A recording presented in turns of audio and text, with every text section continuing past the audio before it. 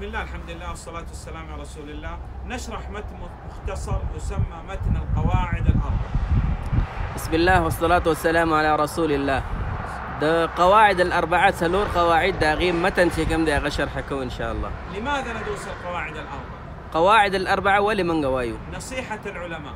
ځکه چې علماو دې باندې نصیحت کړی دی وحتى نرد على بعض الشبه التي يأتي بها أهل الشرك في زماننا أو د دې لپاره وایو چې أهل الشرک چې په دې وخت کې هغه چې کم شکونه أو شبهې پیدا کوي د هغې جواب وکړو نعم هذا المتن نستطيع أن نقسم هذا المتن إلى ثلاثة أقسام.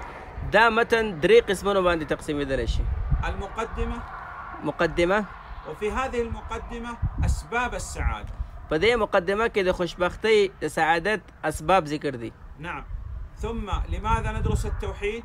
بیا ولې توحید وایو ثم القواعد الأربع. نه وروسته څلور قواعد دي. نعم. هذه المتون العلمية أوصى بها العلماء.